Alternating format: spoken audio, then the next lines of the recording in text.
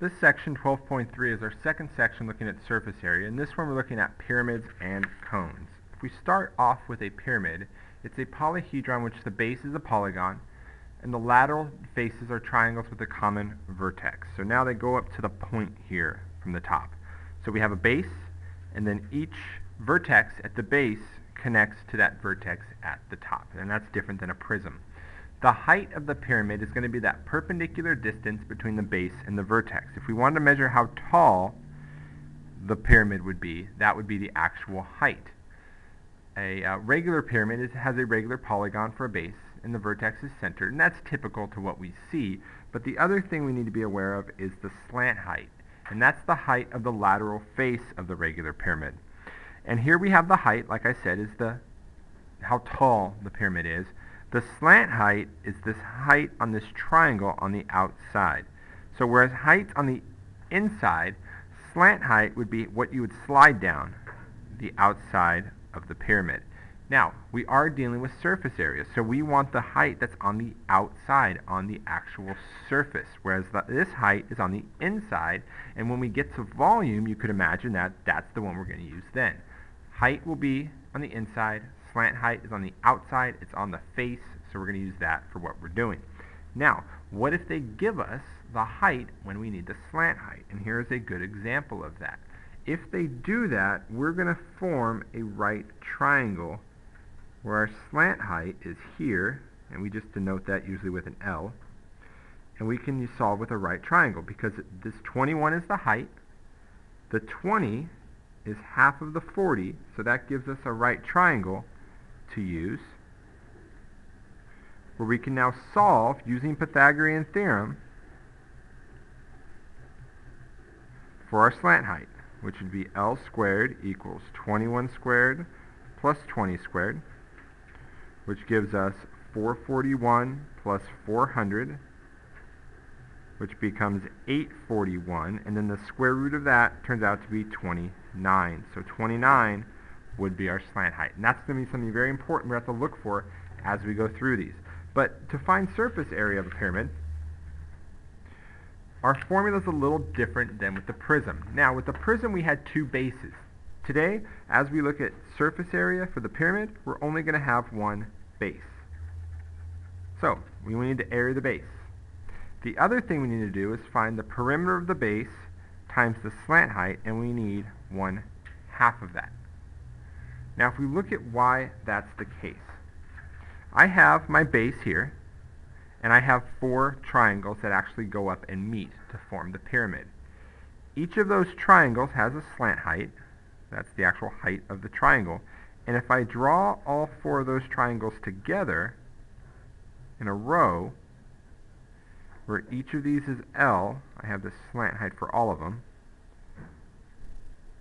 combined, their base value, that bottom value, is the perimeter.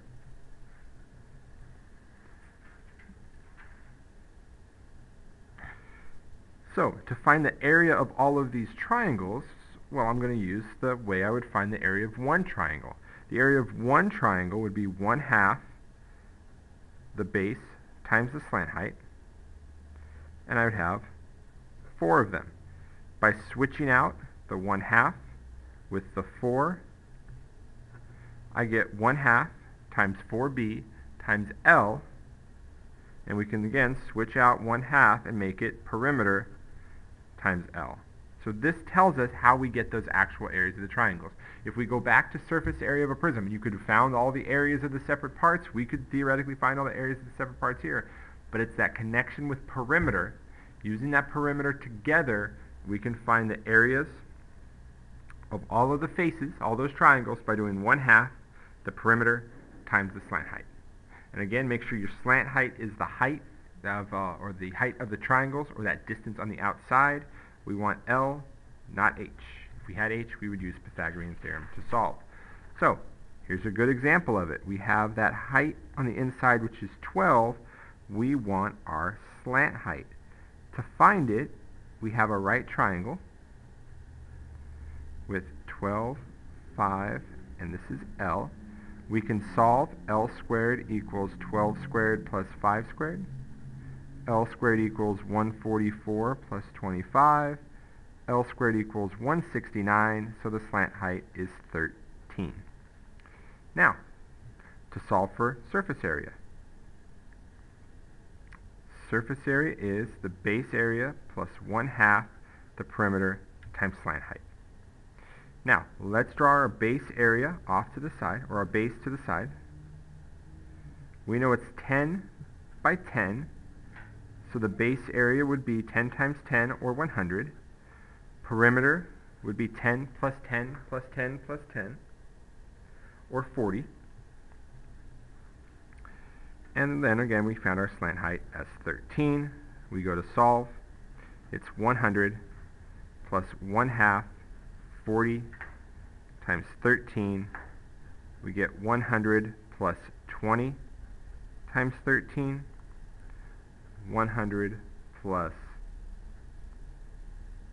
260 gives us 360 inches squared. Okay, we go to our next problem. Now we look at it, we're given our slant height to start. So we can kind of skip this step we did up here, but we're still going to draw our base to the side. It's 6 by 7. Our base area, 6 times 7 is 42. Our perimeter, 7 plus 6 plus 7 plus 6 is 26. We look to solve now. It's base area plus 1 half the perimeter times slant height. That's 42 plus 1 half, 26 times 10. 42 plus 13 times 10. 42 plus 130 gives us 172 inches squared.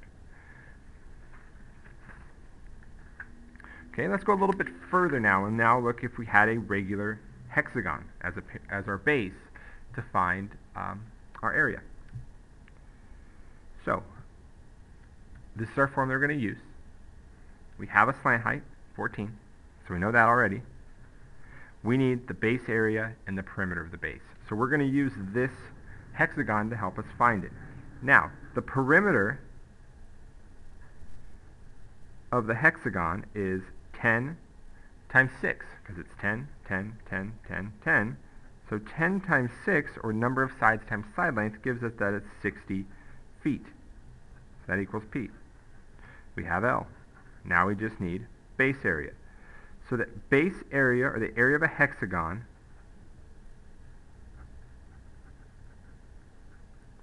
is 1 half the apothem times the number of sides times side length. Hopefully you remember that. Now the apothem is that height, that distance from the side, that perpendicular distance. It's the height of this triangle we would cut out. So that's 5 root 3 times the number of sides times side length, which we have 6 sides, times 10. This is the same as this. It should be. So I have 1 half 5 root 3 times 60. I could take half of 60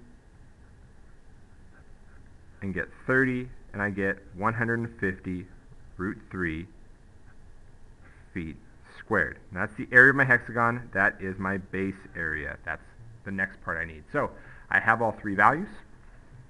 I go up and plug them in. I get 150 root 3 plus 1 half 60 times 14.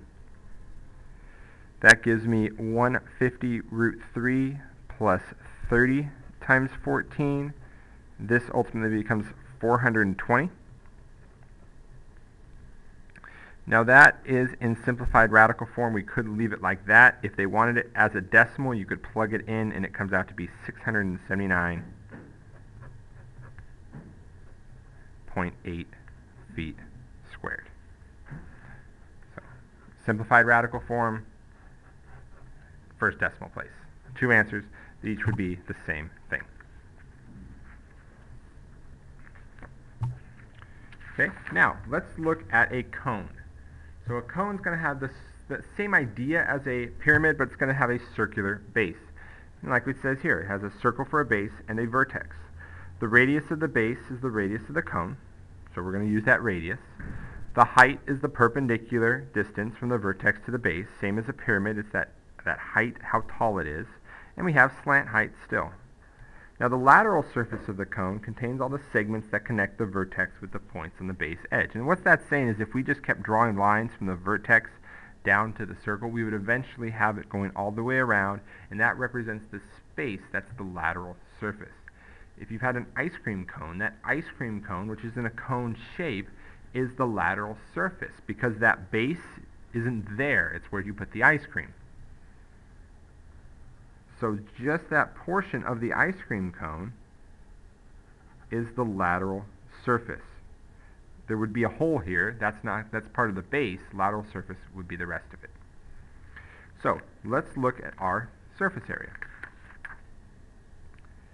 Now, keeping the idea of a pyramid, we can kind of transfer it over to look at a cone. For a pyramid, we said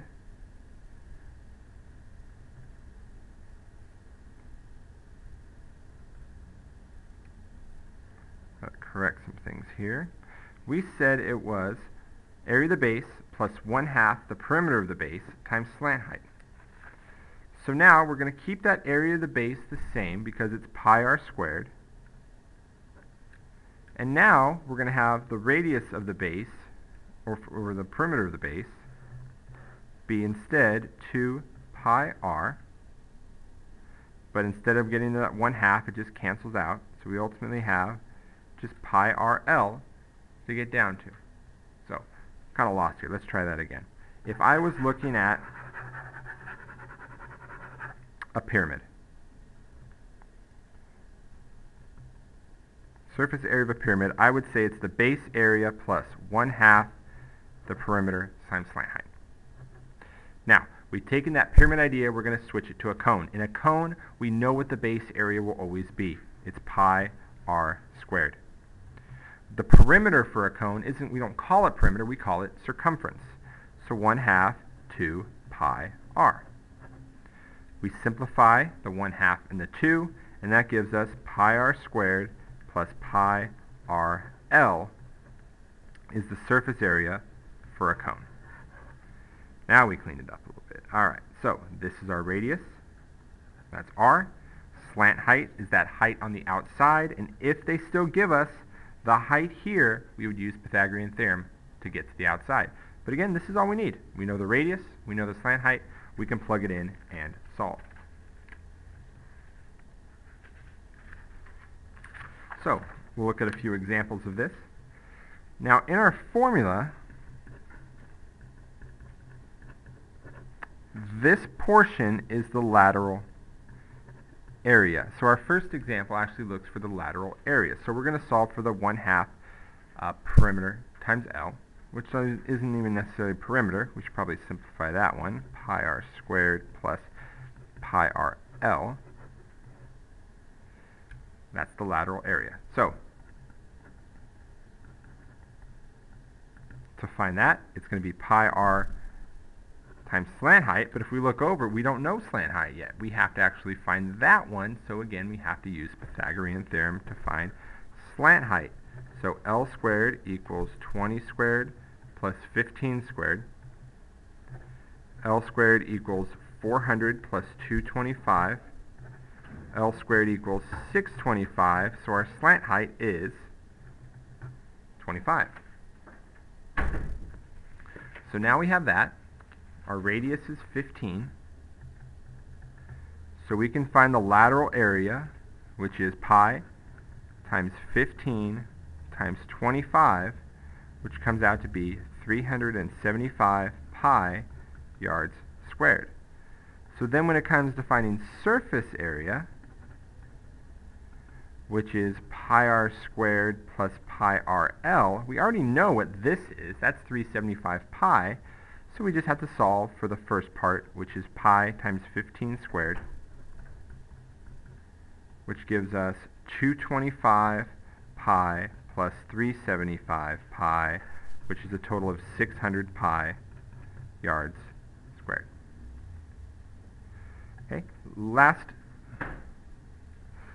the last one we had, we needed to find the slant height. This one, they already give it to us. So make sure you're clear if we're looking for surface area, we look at the outside value.